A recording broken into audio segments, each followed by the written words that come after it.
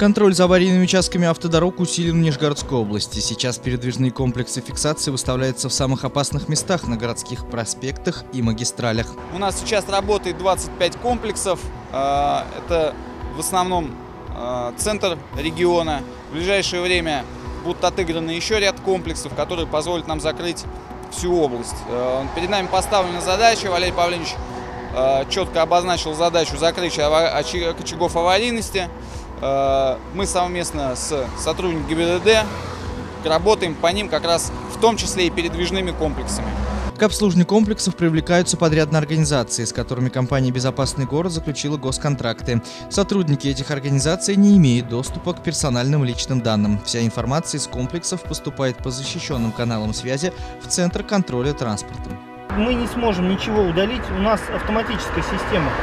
Э, Мы выставляем настройки и запускаем программу, после чего она фиксирует нарушителей.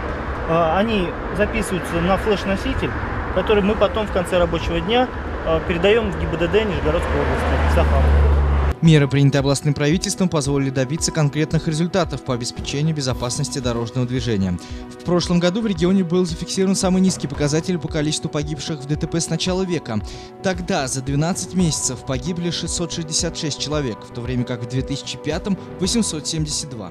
Это и московская трасса, это Мячково, Пыра, где аварийность снизилась порядка в 2-3 раза по метромосту, на котором не зарегистрировано ни одного дорожно-транспортного происшествия, как в 2014, так и в 2015 году. Хотя до этого дорожно-транспортные происшествия там были. Перечень улиц, где установлены комплексы фото-видеофиксации увеличивается, а количество ДТП уменьшается. Анализ аварийности в зоне рубежей контроля камер фото-видеофиксации показал снижение количества дорожно-транспортных происшествий в среднем на 40-50%. На треть стало меньше и нарушений скоростного режима. И это только начало. В ближайшее время мы будем расширять э, этот проект, причем расширять его приблизительно в два раза. То есть еще где-то в районе 75 стационарных э, таких комплексов установим и приобретем э, где-то около 70 передвижных. Автомобилисты уже отметили, что благодаря установке камер фиксации на самых аварийных участках на дорогах региона стало гораздо безопаснее, да и сами водители стали дисциплинированнее. Я думаю, что нужна обязательно в тех регионах, где камер больше, водители ездят аккуратнее и боятся, то есть э, в любом случае. А, Ну, опять же, наверное, скорее штрафов.